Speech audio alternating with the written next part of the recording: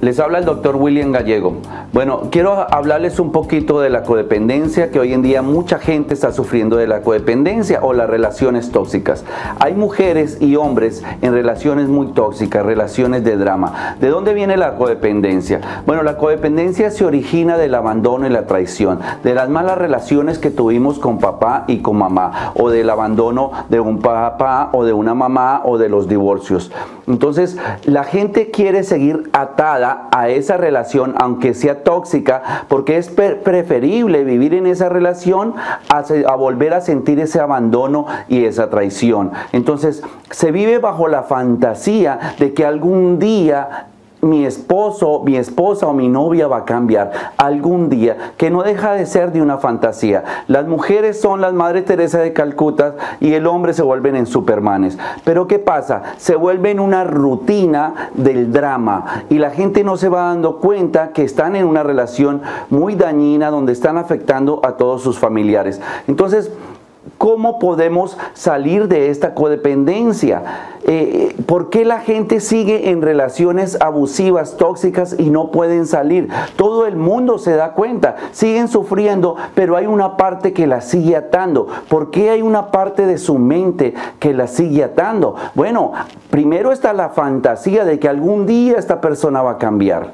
Y segundo, tiene que ver con que la persona se está medicando, ayudando a la otra persona tóxica, pensando que se están sanando ellos y no se sanan. Entonces, dentro de lo que yo he trabajado en terapia cognitiva es muy complicado porque ha habido toda una manipulación psicológica de la otra persona, los denigran y los hacen sentir que no tienen la capacidad de salir de esa relación. Entonces, en la terapia cognitiva es difícil a través de solo hablar el poder salir porque hay memorias que los atan todavía y hay el temor subconsciente de que no quiero irme de ahí porque no quiero sentirme solo sentirme sola, no sé sobrevivir. También hay otras creencias que nos limitan, esas creencias de, que, de la abuelita que nos dijeron que esto fue lo que te tocó y por la familia necesitas quedarte ahí. Y no, esas son creencias falsas. Así es de que hemos desarrollado este tipo de terapia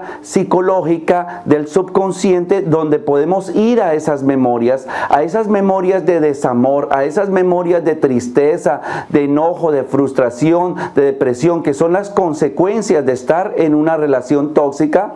Y luego, después de sanar esas memorias de tristeza, de depresión, de frustración, podemos trabajar neutralizando también memorias de placer, memorias positivas que te atan, que te atan a, la relación. Si no neutralizamos esas memorias de fantasía o de placer que te atan a la relación, la gente va a seguir en esas relaciones tóxicas.